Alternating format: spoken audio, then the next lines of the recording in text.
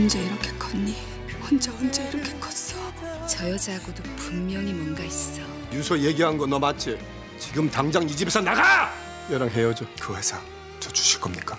대갓집 안주인은 있으면 빨갛게 칠하고 앉아 있으면 되는 건 줄 아니?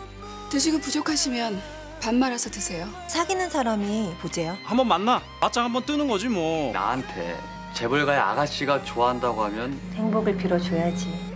갖출 거 다 갖춘 당신을 원해요 난. 헤어집시다.